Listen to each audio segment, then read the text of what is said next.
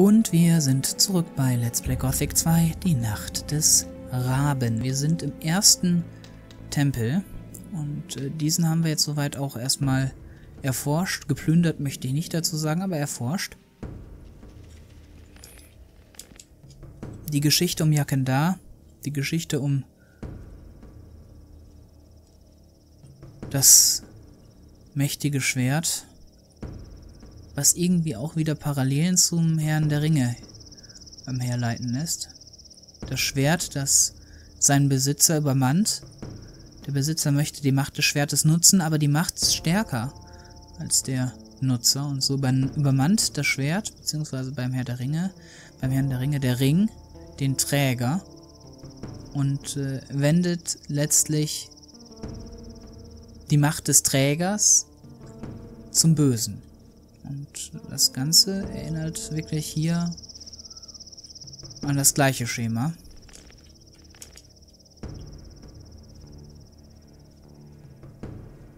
So, was kommt hier auf uns zu? Das ist so eine... Das ist ein Gebiet hier. Dieser, dieser Canyon, das ist der letzte Teil des Canyons. Ich kann es gleich mal auf der Map zeigen. Da muss ich jetzt mal gleich schauen. Genau, wir sind hier ziemlich beim letzten Stück des Canyons und hier müsste irgendwo ein Durchgang sein. Ach, what the fuck? Ein Bluthund oder was ist das? What the fuck? Hinter uns ist auch einer. Nein, und ich bin auf der Anhöhe. Oh mein Gott, das hätte ich fast versaut, ne? Und zwar nur, nur nur weil dieser Mistkerl da diese Erhöhung ausgenutzt hat. Das war der einzige Grund. Das wäre nochmal fast ins Auge gegangen. What the fuck, ey.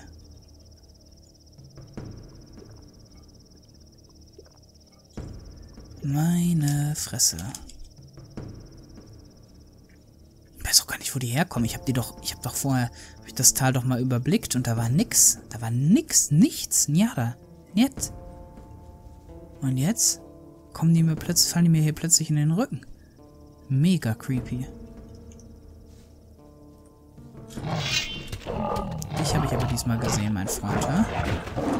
Das war dann jetzt doch mal kein, kein Überraschungsangriff, auch wenn der auch ziemlich plötzlich wieder da war. So, drei waren hier. Ich habe das Gefühl, hier ist noch irgendwo ein vierter.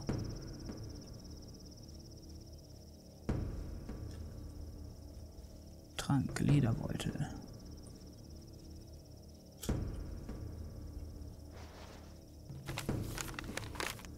Was das da ist, ich habe keine Ahnung.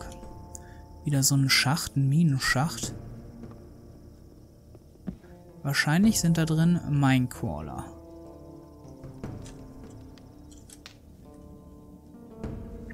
Im besten Fall. Haben wir irgendwie eine Lichtspruchrolle.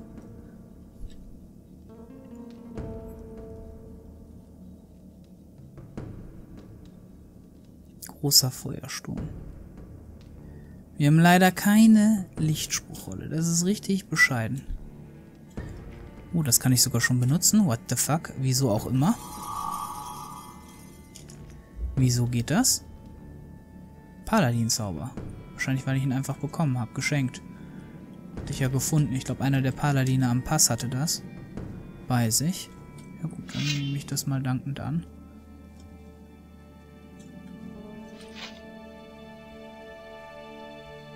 Ein Rapier.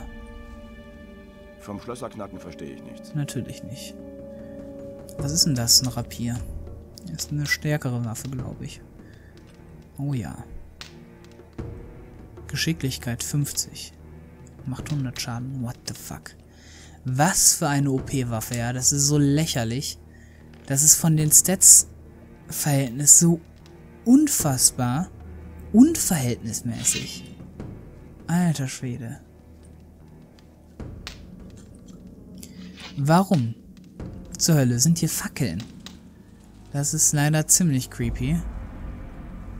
Das bedeutet, hier müsste eigentlich was Lebendes sein. Und damit meine ich was Lebendes Menschliches.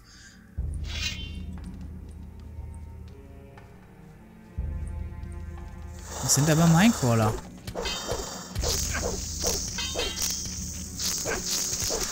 Ach, come on. Jetzt bitte verarschen hier. Ich wusste gar nicht, dass Minecrawler Feuer machen.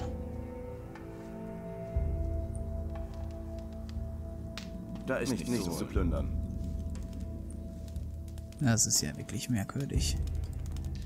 Oder hier waren Menschen und wurden von den Minecrawlern überwältigt. Das ist wahrscheinlich die wahrscheinlichste Variante.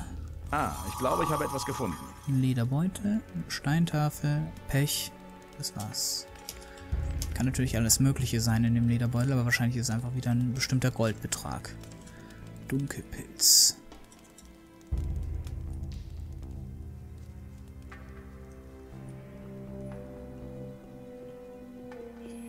Na, da bin ich ja mal gespannt. Was war das denn jetzt für eine Rune? Was war das für eine Rune? Angst hätte es sein können. Mittlere Wunden heilen wäre auch möglich. Ich denke, es war Angst. Kann ich leider nicht benutzen. Ich kann nur die Paladin-Zauber benutzen weil man dafür keine Ränge der Magie braucht.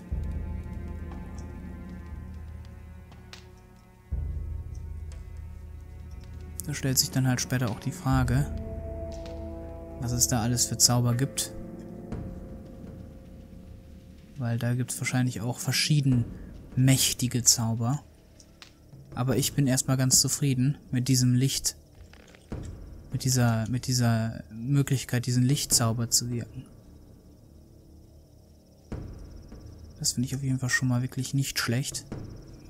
So, ich denke übrigens, dass wir da oben drüber müssen. Und dass das dann hier dieser Weg ist zu den Banditen. Oder beziehungsweise nicht unbedingt zu den Banditen, aber auf jeden Fall schon mal in den Sumpf. Und, äh... Wir sind übrigens auch schon wieder bald Level Up. Und diesen Weg werde ich jetzt auf jeden Fall auch bestreiten. Und wir können uns dann auch nochmal auf dem Weg überlegen, wo wir dann jetzt letztlich auch die letzten Lernpunkte reinkloppen werden beziehungsweise wo wir die rein investieren wollen. Ich wäre ja eigentlich dafür, das Ganze in die fremde Sprache zu investieren. Andererseits möchte ich auch sehr, sehr gerne irgendwann endlich mal Meister werden im Einhandtalent. Bonus im Einhandschwertkampf Meister werden. Oh, hier, schau mal einer an. Noch ein verstecktes Kreuz und ein Trank. Und das sah, sieht nach einem Mana-Trank aus, nach einem kleinen. Ja, was ist in dem Kreuz oder unter dem Kreuz vielmehr? Ah, ich glaube, ich habe etwas gefunden. Ein Erzbrocken, eine Spruchrolle und noch eine Spruchrolle. So, was waren denn das für Spruchrollen?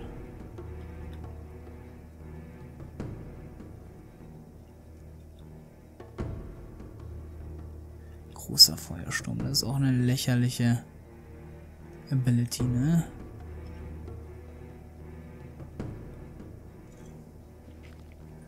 Unwetter macht 250 Schaden, der große Feuersturm 300. Ich denke, der große Feuersturm ist der Single-Target, ähm, der Single-Target, oh, das ist ein Bluthund, der Single-Target äh, Flammenring.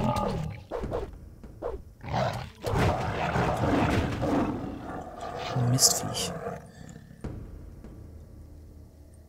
Bin mal gespannt, was das jetzt hier für ein Höhlensystem wird. Junge, Junge, gibt's hier viele Spruchrollen. Und da war ein Drachenbogen. Ich habe keine Ahnung, wie gut er ist, aber ich glaube, der ist ziemlich gut. Es könnte sogar der beste Bogen im Spiel sein. Ne, ist aber nicht. Drachenbogen. Ich glaube, da gibt es noch besseres. Aber der ist auf jeden Fall auch nicht schlecht. Aber bei den Armbrüsten gibt es halt noch sehr viel, sehr viel bessere Alternativen. Obwohl ich natürlich schon ganz gut dabei bin mit der Kriegsarmbrust, ja.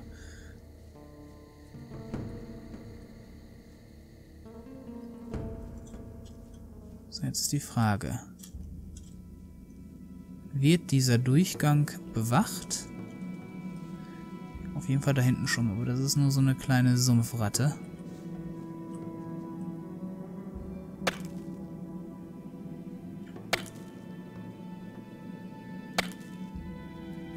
Glaube, ich habe etwas gefunden. Steintafel. Oh, noch eine Steintafel. Ein silberner Ring. Also so langsam finden wir auch wieder richtig viele Steintafeln. Das freut mich natürlich.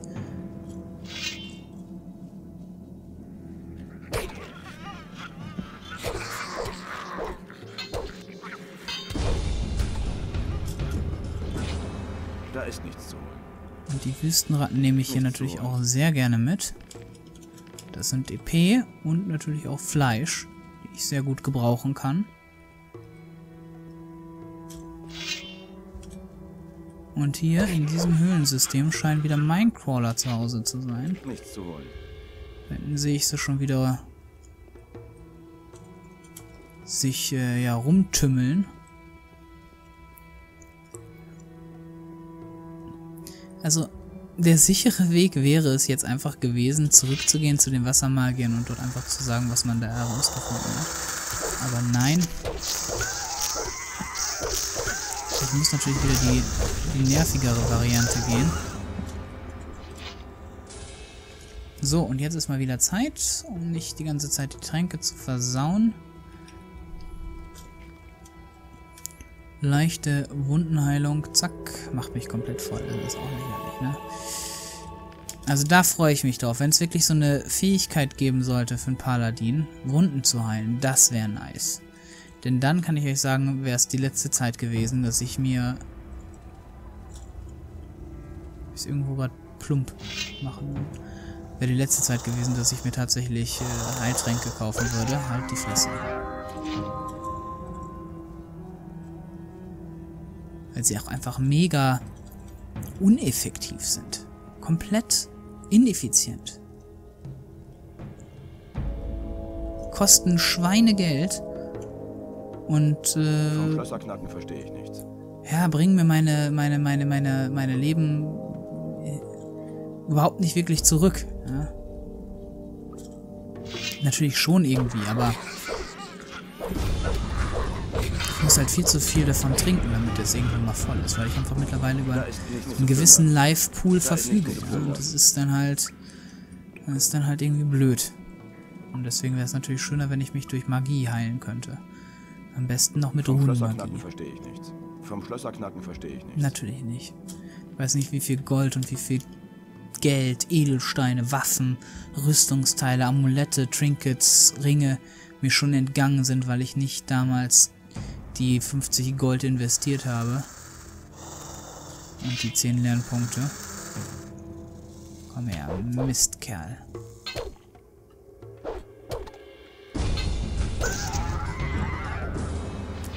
Weil ich die Lernpunkte und das Gold damals nicht investiert habe. Das ist mit Sicherheit einiges, das sage ich euch.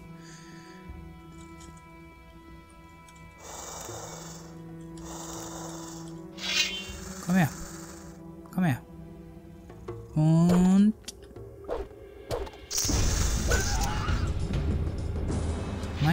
Können auch echt gar nichts. Sei denn, sie sind wieder im Rudel, ja, und das sind sie ja öfter. Obwohl auch dann hält es sich in Grenzen. Gerade die einfachen Minecrawler one-hitte ich ja, wenn ich Glück habe. Und die Warrior, na gut, da brauche ich dann halt manchmal ein bisschen mehr für.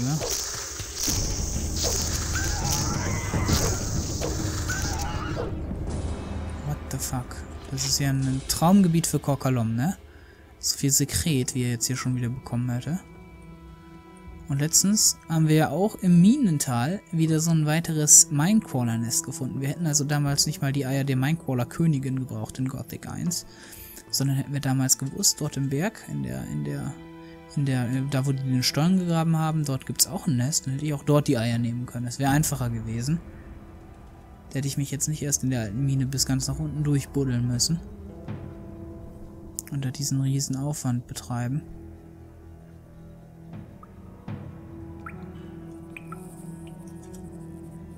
Spruchrolle, Trank. Trank, Trank und da oben höre ich es auch schon wieder zirpen. Ich glaube, das war ein besonderer Trank. Vom Schlösserknacken verstehe ich nichts.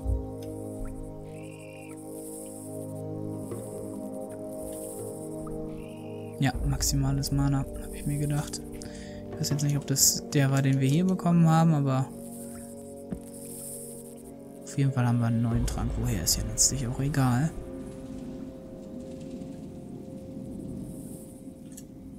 Ja, und da geht's raus. Gut, dann werde ich jetzt den Part mit einem schönen Cliffhanger beenden. Ich weiß, das tut man nicht, aber die Zeit ist fortgeschritten und äh, irgendwann muss ich ja mal wieder Pause machen. Wir hören uns hoffentlich beim nächsten Part wieder und äh, bis dahin macht's immer gut. Ciao.